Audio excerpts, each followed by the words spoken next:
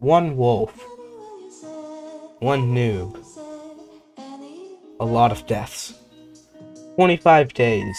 Welcome my friends to the 25 Days series. This is a new Minecraft survival series that in which I, GoStorm Plays, uh, is doing where we have to accomplish as much as we can in the short time of 25 Minecraft days. That isn't all. For 25 real world days, I will release one video every single day describing what happened on one in-game day in Minecraft. As I said earlier, this series contains many deaths, a loving dog that doesn't live to see the end of the series,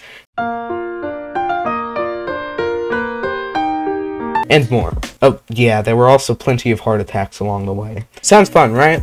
Well, the series will start on March 1st, 2023, and a new episode of the series will release every day at around 11 a.m. Eastern Standard Time. So make sure you subscribe and turn on notifications so you don't miss out on, on my new series, 25 Days. I'll see you there.